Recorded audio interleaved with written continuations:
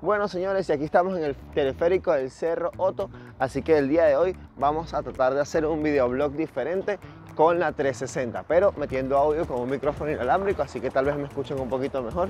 Ahí está Ede con su luz de montañista y obviamente está Ramón planificando todo lo que va a hacer.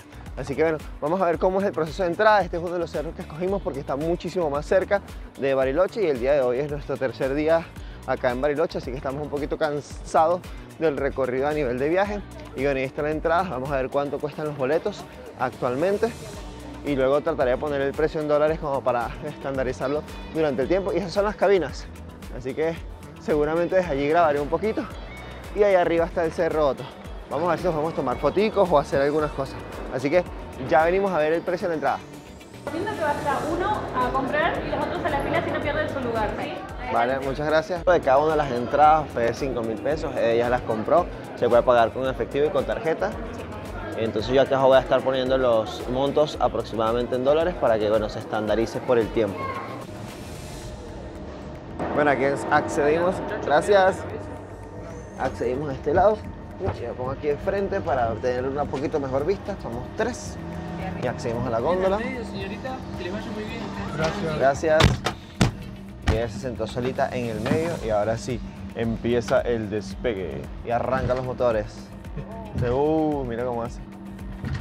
La góndola. Se balancea full.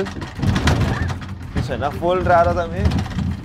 Voy a sacar la puerta porque la salvo así como... Sí, ¿verdad?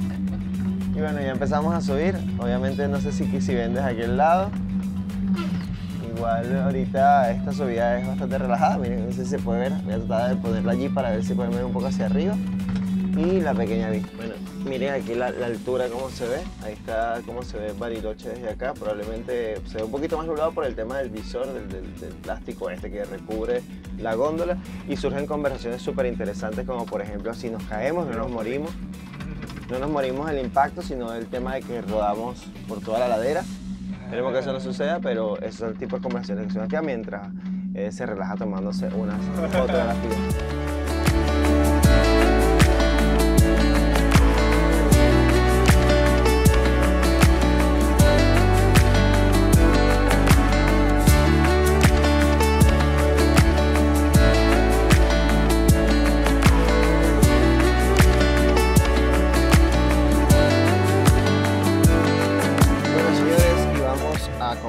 Para después almorzar bien. Estamos comiendo un choripán con una Pepsi.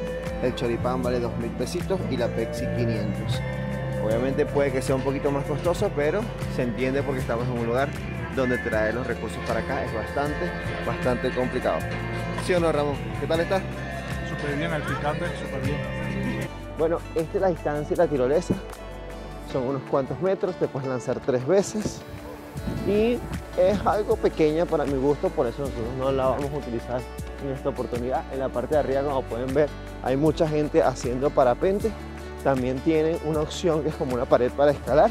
Y más adelante, cuando terminemos esta sección, viene lo que sería el laberinto. Que también es un entretenimiento que pueden hacer acá en el cerro.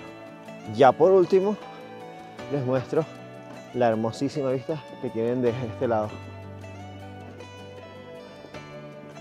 Voy a tratar de recorrerlo lo más pronto posible porque recuerden que aquí también hay mucha gente que está tomando el sol.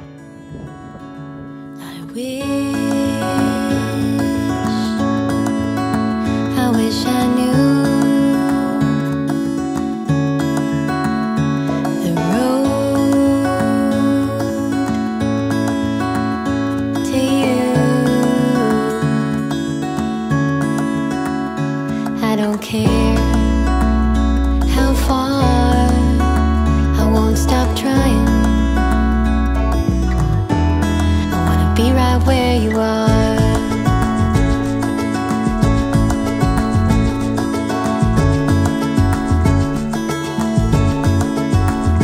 I wish I wish I knew